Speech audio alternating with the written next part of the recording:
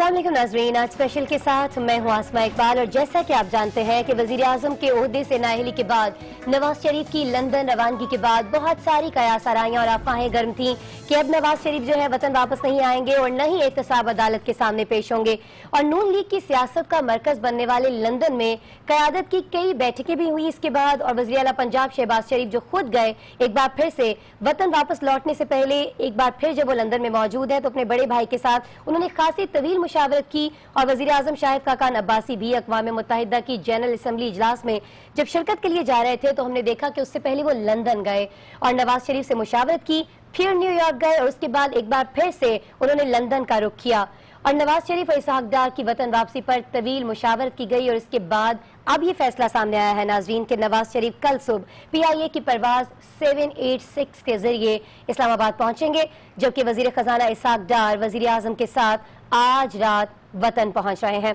इस सारी सूरत हाल पर बात करने के लिए इस वक्त हमारे साथ कराची स्टूडियो में मौजूद हैं senior anchor person Rana Mubashar साहब, जबकि इस्लामाबाद से हमारे साथ मौजूद होंगे हमारे ब्यूरो चीफ हैं शौकत पराचा साहब। टेलीफोन लाइन पर हमारे साथ हमारी senior anchor person Asma Shirazi भी मौजूद रहेंगी और लंदन से इस वक्त हमें ज्वाइन कर रहे हैं हमारे नुमाइंदे नवीज सज्जाद। इन तमाम लोगों से हम इस सारी सिचुएशन पर डिटेल्ड गुफ्तु करेंगे। सबसे पहले मैं रुख करूँगी नाजीन लंदन का, जहाँ मौजूद है। नवीद सज्जाद उनसे जानते हैं कि सब ताज़ा तरीन सूरत हाल क्या है। नवीद, यकीनन पहला सवाल मैं आपसे यही पूछूँगी कि कितनी देर में रवानगी हो रही है मियाँ मोहम्मद नवाज़ शरीफ की? लेकिन अभी आपने नौ बजे के बुलेटिन में बताया था कि एक बड़ी अहम बैठक हुई है दोनों भाइयों के दरमियान। उसमें क्या खबरें सामने आई हैं आपके पास? कुछ बताएँगे नवीद? जी, बिल्कुल। अभी भी जो इस वक्त करंट सिचुएशन है, मियाँ शबाज शरीफ साहब और मियाँ नवाज़ शरीफ साहब still inside the room है मीटिंग अच्छा। अभी भी चल रही है जर्नलिस्ट बाहर खड़े हैं तकरीबन पिछले 40-45 मिनट से जब से मियाँ शबाज शरीफ साहब आए हैं अभी कंटिन्यूसली दोनों भाइयों के दरमियान वन टू वन जो मीटिंग हो रही है वो अभी फिनिश नहीं हुई स्टिल अंदर है अभी तक ज़ाहिर बात है कि आज मियाँ नवाज़ शरीफ साहब ने जो सुबह लीडरान बोथ ब्रदर्स ने भी और खकान अब्बासी प्राइम मिनिस्टर जो कि बरतानिया में मौजूद थे लंबी डिस्कशन के बाद जो है ये फैसला किया गया है। पाकिस्तान के लिए सामान जो है मियाँ नवाज़ शरीफ साहब का वो ऑलरेडी जा चुका है। उनके पासपोर्ट भी बोर्डिंग के लिए जा चुके हैं। अभी किसी ही लम्हे जो है मियाँ नवाज़ शरीफ साहब और मियाँ शबाज शरीफ साहब दोनों अपने पार्क लेन जो होटल पार्क लेन जो उनकी रहाइश है, वहाँ से बाहर किसी वक्त भी आ सकते हैं। ठीक है, वह बाहर आ सकते हैं दोनों भाई, लेकिन अभी काफ़ी तवील इनकी डिस्कशन जो है, वो अभी तक जारी है। देखना यह है कि अब तय किया जाता है, क्या तय किया जाता है, लेकिन बहरहाल ये तो तय है कि वज़ीर आज़म जो है, सबक वो वापस आ रहे हैं, अदालतों के सामने पेश होंगे और इसी सिचुएशन पर बात करेंगे। हमारे साथ, जैसा कि मैंने आपको बताया, शौकत पराचा साहब इस्लामाबाद से मौजूद है। शौकत पराचा साहब, इस्लामाबाद में भी बड़ी चहमगोइयाँ हो रही थी, बड़ी कयास आराइयाँ की जा रही थी कि अब जो है, वो सबक वजी वतन वापस नहीं आएँगे।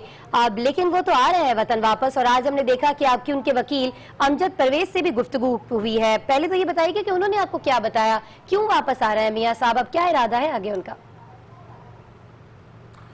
देखिए, अमजद परवेज तो वज़ीर ख़जाना इसहाक डार के वकील हैं, और इसहाक डार के हवाले से तो बहुत ज़्यादा चेमगोइयाँ थी कि अब वो चले गए, वो वापस नहीं आएँगे, और शायद शरीफ फैमिली भी उनको वापस नहीं आने देगी, क्योंकि हुदेबिया पेपर मिल्स के ख़िलाफ़ भी अपील चली गई और मंजूर भी हो गई। फिर इसाक डार के हवाले से 20 सितंबर को जब उन्हें बुलाया था, एहतसाब अदालत ने वो इधर नहीं थे तो उनके काबिल ज़मानत वारंट गिरफ्तारी जारी हुए थे।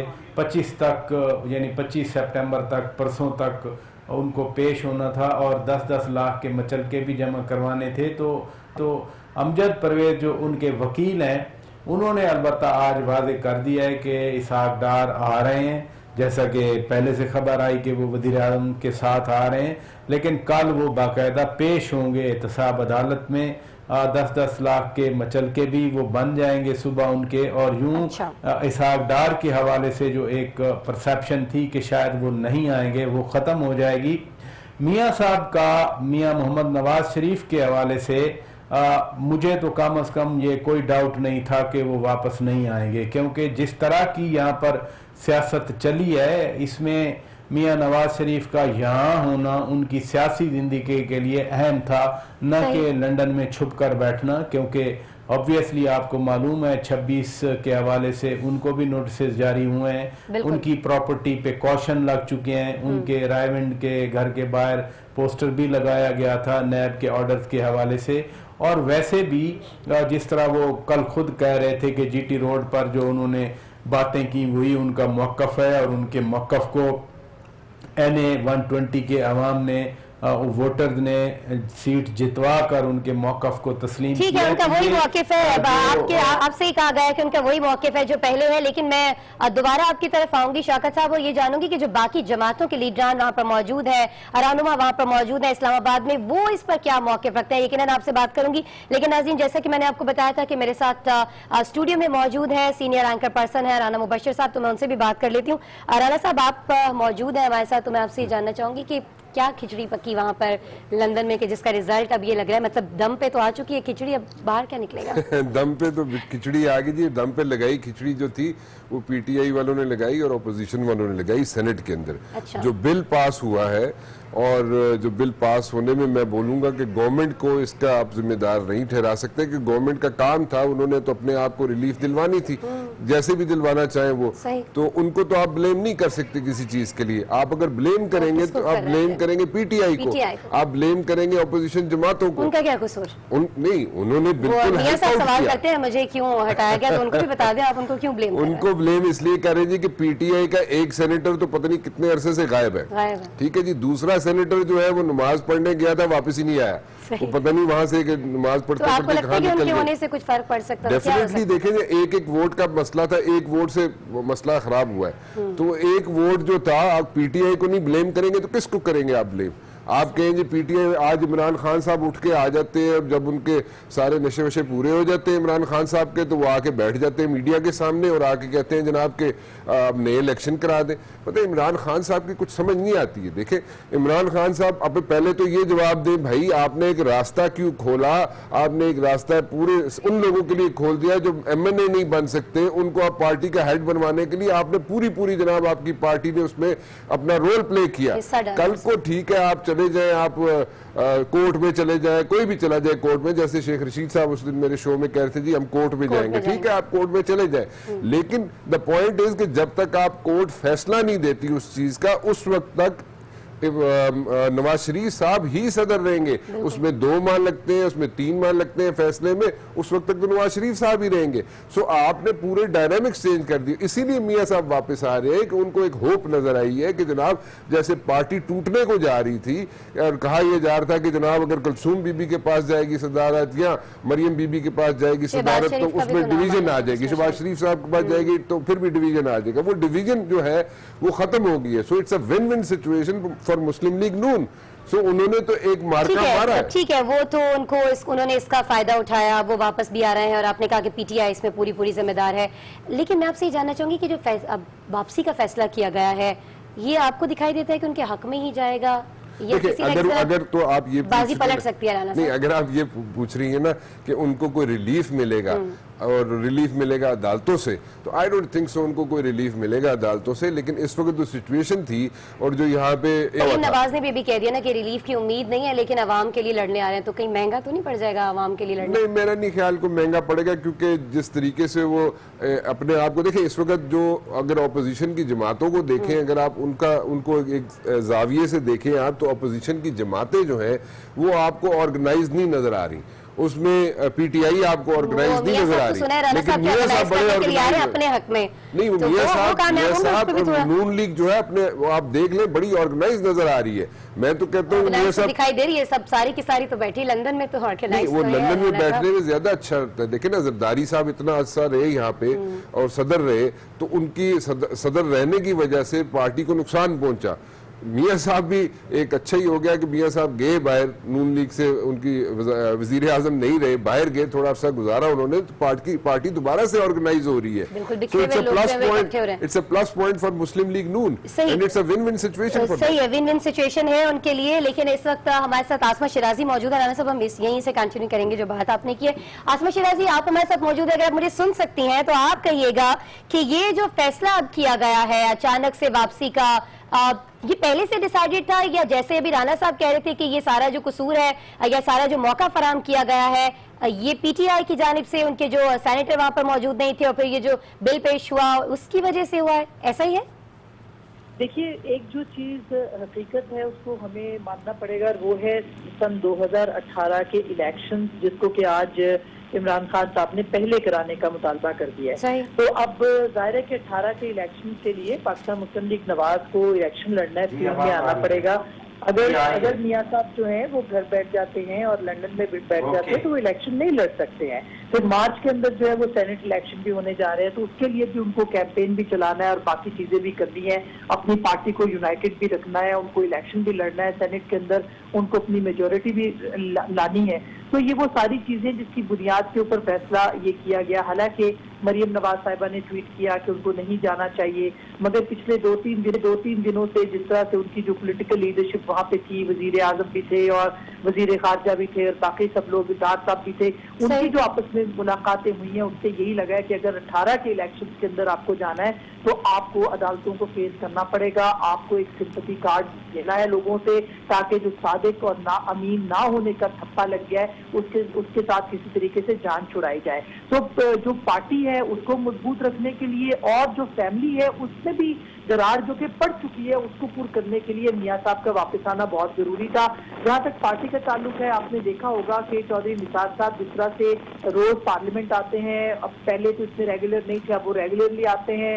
फिर उनके इर्द गिर्द झुमघट्टा भी होता है, मैंने सुना आजकल बहुत वो हफ़्ते खुशगवारियत भी मना रहे हैं, सब लोगों के साथ अच्छे तरीके से बात करते हैं। तो एक और तरह की उन्होंने अपोजिशन हुकूमत में रह के अपोजिशन के स्टेटमेंट दिए, उससे पार्टी के अंदर काफ़ी ज़्यादा र्यूमर और एक अन एक अपसेट सी पार्टी नज़र आ रही थी और बहुत से जो पुराने उनके डेमोक्रेट्स हैं या उनके साथ जो लड़ते रहे जन उनके अंदर भी ये परेशानी थी कि अगर कोई लोग टूट के जाते हैं या टूटते हैं नाराज़ होते हैं या कोई ग्रुप बनता है तो इससे पाकिस्तान मुस्लिम लीग नवाज़ को काफ़ी ज़्यादा नुकसान होगा। और ये बात राणा साहब ने बिल्कुल ठीक कही कि जो सेनेट के अंदर उनको कामयाबी मिली है जिसका के चेहरा पूरा का पूरा पाकिस्तान तहरीक इंसाफ को जाता है इससे वो और ज़्यादा मज़बूत हुए और उनको ये लगा है कि पाकिस्तान के पोलिटिकल प्रोसेस के अंदर अभी भी जान है और पार्लियामेंट के अंदर भी जान है। ये सिर्फ़ पीपल्स पीटीआई का नहीं है उनका तो वोट था।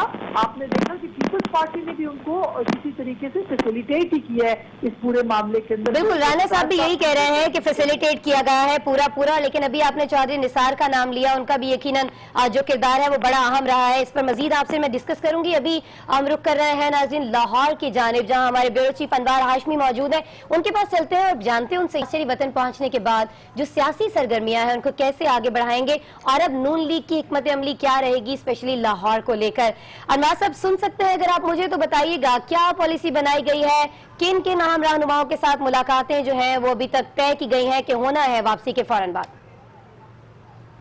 जी, बिल्कुल, जिस तरह आप गुफ्तगु कर रहे हैं तो जब इस्लामाबाद से लाहौर नवाज़ शरीफ पहुँचे थे और उन्होंने जो अपना प्रोग्राम दिया था, अपना लबो लेजा दिखाया था, अपना बयानिया दिया था तो उससे बिल्कुल वाजे नहीं होता था कि वो पाकिस्तान से भागने के लिए जा रहे हैं, बल्कि उनका टारगेट जो है नायली के बावजूद उन्होंने एक चैलेंज समझा था कि वो 2018 के इलेक्शन में अपनी पार्टी को दोबारा इकतदार में लाने की कोशिश करेंगे।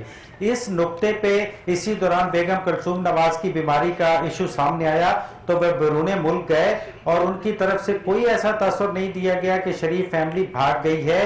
ये मैं आपको उन इजलासों की रुदात सुना रहा हूँ जो लंदन जाने से पहले लाहौर में मशावरा अच्छा, आप हमारे साथ मौजूद रहिएगा आपका तजिया यकीन हम इस पर लेंगे लेकिन इस वक्त लंदन में मियाँ मोहम्मद नवाज़ शरीफ मीडिया से बात कर रहे हैं वो दिखाते हैं नाजरीन को। एहतसाब है। मैं मैं मैं अदालतों में पेश नहीं होंगे तो आप दोबारा क्यों फिर अदालतों में पेश होने जा ये सब ये जो आज आपने फैसला किया पाकिस्तान वतन वापसी का ये बड़ा बहादुराना फैसला है। आप समझते हैं जो आपके नाकदीन थे वो यही कह रहे थे कि हम ये सब कभी वतन वापस नहीं आएँगे। और जो आज आपने अचानक फैसला किया है क्या ये आपके नाकदीन को एक तमाचा है मुस्लिम लीग नूर की जानब से एक और?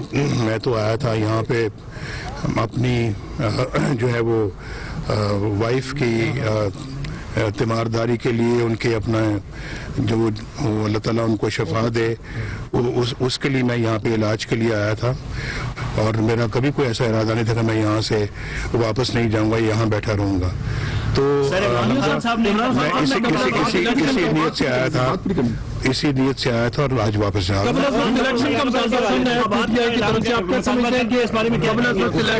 होने चाहिए आपके ख्याल ठीक है जी केस जो है वो पैनामा का था फैसला जो है वो अकामा पर आया है। एक बार फिर से सवाल खड़ा कर दिया है। सबक वज़ीर आज़म ने राणा साहब के आखिर मुझे किस जुर्म की सजा दी गई? अभी तक मेरे ख्याल में वो समझ नहीं पा रहे। तो वापस क्यों आ रहे हैं? मजबूरन वापस आ रहे हैं वो? वो तो खुद कह रहे हैं कि एहतसाब नहीं हो रहा ये तो कुछ और है तो क्यों पेश हो रहे हैं अदालत के साथ जैसे जैसे मैं बार बार कह रहा हूँ कि इशू जो है वो ये है कि उनको एक हौसला मिल गया है सेनेट से जो उनकी जो सदारत है वो कंफर्म हो गई है। जो बिल पास हुआ सदारत कंफर्म होगी। उनसे एक हौसला मिल गया। लेकिन अभी भी मियाँ साहब उधर ही फंसे हुए हैं कि मुझे क्यों निकाला? पनामा और अकामा। अकामा तो आपको इसलिए देखे एक वज़ीर आज़म है। वज़ीर आज़म को अकामे की कोई ज़रूरत नहीं होती है। अकामे से तो अकाउंट खुलता है अकाउंट से आप आगे फिर पैसे इधर भेजने होते हैं आगे भेजने पीछे भेजने जहाँ भी भेजने आपने भेजते रहते हैं पैसे आप। अब पैसों का मसला ये होता है कि वहाँ पे अगर आप किसी स्विट्जरलैंड में जनीवा में एक सवाल भेजेंगे किसी को कि जनाब बता दें कि पाकिस्तानी जो है यहाँ पे पॉलिटिशियन या पाकिस्तानी हजरात जो है उनके किस किस के अकाउंट मौजूद हैं तो वो आपको कहेंगे जी कि इन इनके हैं। अब उनमें उनका नाम तो नहीं आएगा जो लोग वहाँ पे रेजिडेंट है यूएई के। सही, तो उसमें से तो नाम निकल जाता है। So it's a different situation वो मियाँ साहब ये थोड़ा सा गलत कह रहे हैं कि मुझे कामे की वजह से निकाल दिया। कामे की वजह नहीं वजह तो कुछ और है अब आपने कहा कि वो भी, भी गलत कह रहे हैं लेकिन आगे देखना ये कि वो गलत करने जा रहे हैं ये सही करने जा रहे हैं तो यही मैं जानने की कोशिश कर रही थी। अनवार हाशमी हमारे साथ मौजूद थे लाहौर से। अनवार हाशमी आप बता रहे थे कि किन किन लोगों से मुलाकातें होंगी और अब हिकमत अमली क्या रहेगी नून लीग की? देखिए हमत अमली बिल्कुल जितनी मर्ज़ी क्या सराइयाँ होती रहें, उनका शेड्यूल तयशुदा है।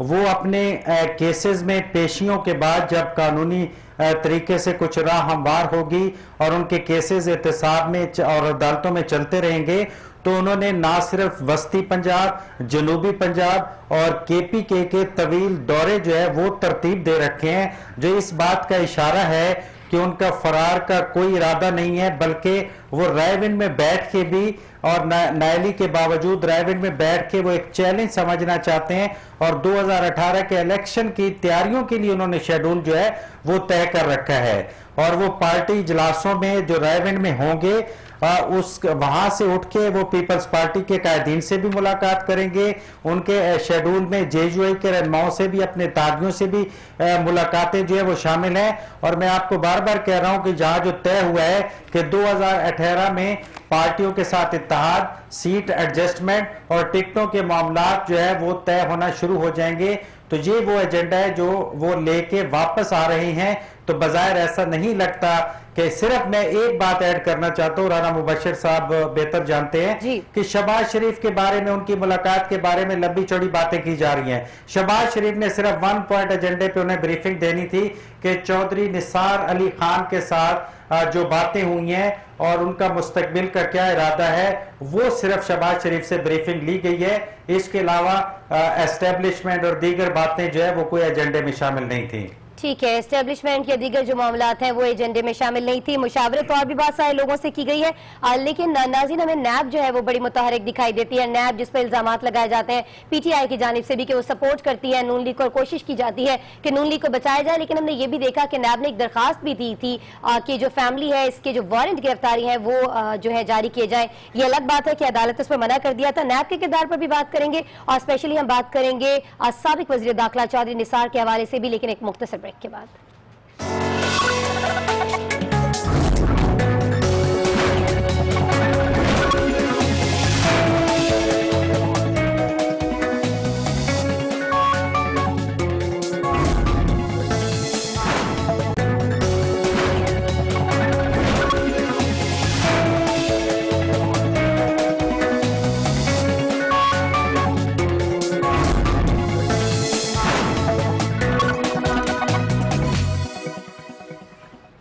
वेलकम बैक हम बात कर रहे हैं सबक वजी अजम नवाज़ शरीफ की वापसी के हवाले से। हमारे साथ इस्लामाबाद से शौकत पराचा साहब मौजूद हैं।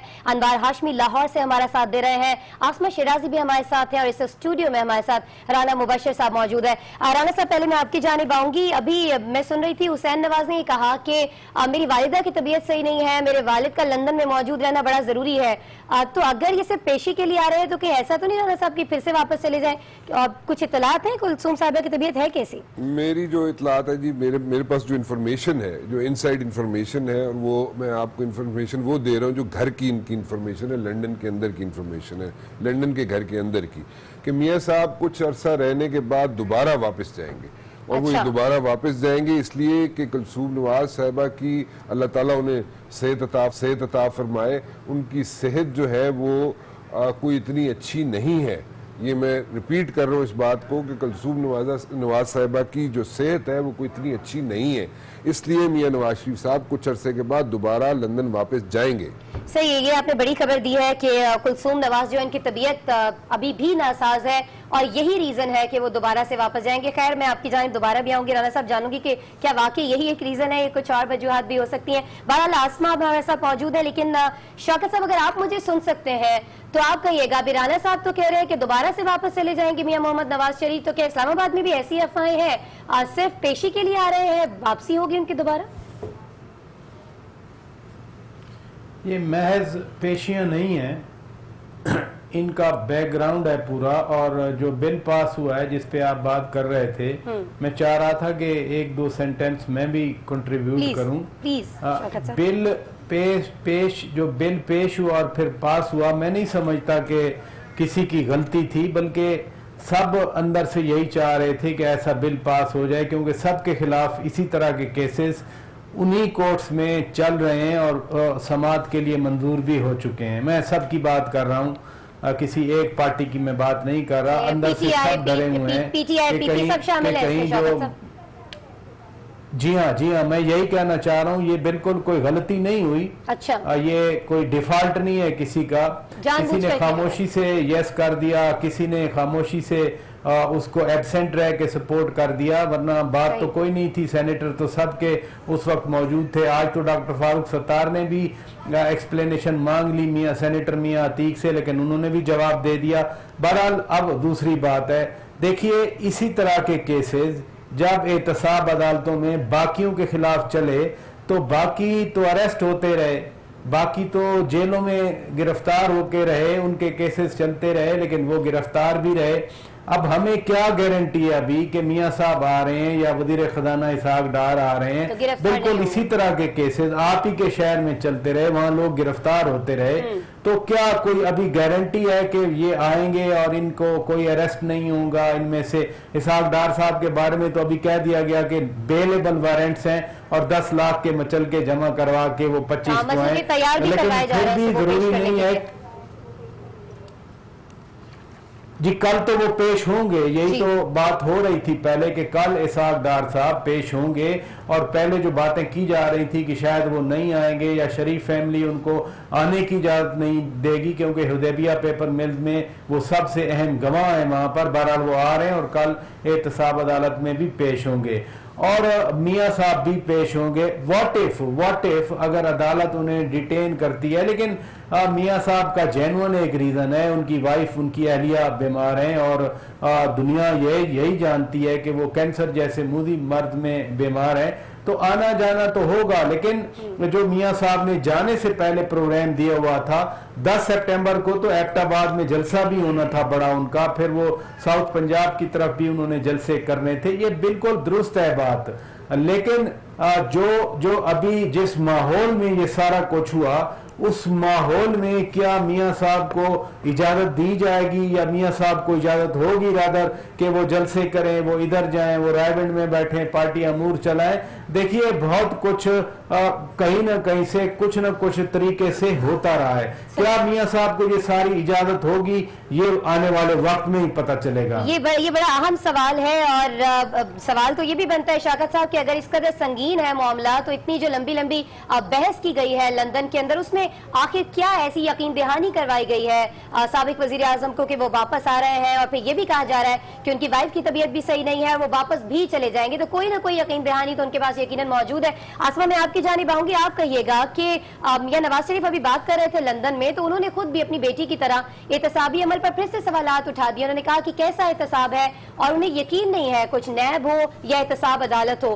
तो अगर ऐसे में जैसे भी शौकत साहब कह रहे थे कि अब देखना यह है कि बाकी लोगों को तो इस तरह के केसेस में सजा होती रही है, अगर इन्हें भी सजा हो जाती है तो लगता नहीं आसमा कि वो इस फैसले को मानेंगे। तो क्या फिर से हम टकराव होता देखेंगे इदारों के दरमियान हुकूमत के दरमियान?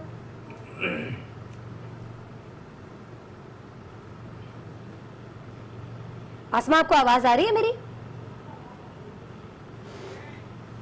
आसमा, शिराजी तक शायद हमारी आवाज़ नहीं जा पा रही है। अनवार साहब, मैं आपकी तरफ़ आऊँगी। आप बताइएगा। लाहौर की बात आप कर रहे थे कुछ मीटिंग्स की बात आप कर रहे थे। अभी हमने जो एन ए वन ट्वेंटी का इलेक्शन देखा है इसमें तो हमें लाहौर में दो ही पार्टियाँ दिखाई दी हैं। पीटीआई है नून लीग है। लेकिन अब ये सुनने में आया है कि जब लाहौर पहुँचेंगे मियाँ साहब तो कोशिश करेंगे कि पीपी रहनुमाओं से भी मुलाकात की जाए उन्हें मनाने की कोशिश की जाए। आ, तो क्या आप, आपके पास ऐसी इतलात है कि पीपी का भी कुछ मूड दिखाई देता है कि कुछ हिमायत कर दे नवाज़ शरीफ साहब की? देखिए मैं एक तो आपका क्वेश्चन समझ नहीं पाया कि मुलाकात पीपीपी से आप बात कर रही हैं। जी मैं पीपी से पूछना चाह रही हूँ कि पीपी से मुलाकात करेंगे तो क्या कुछ हिमायत मिल सकेगी? कुछ फ़ायदा होगा इस मुलाकात का पीपी से जो करेंगे?